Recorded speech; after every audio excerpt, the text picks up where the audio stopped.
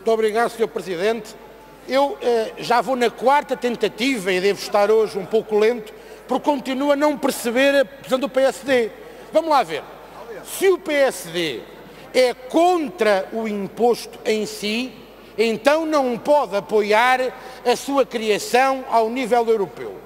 Se apoia a sua criação ao nível europeu e o argumento é contra a unilateralidade, então não vejo porque é que há de acusar o Bloco de Esquerda de voracidade fiscal.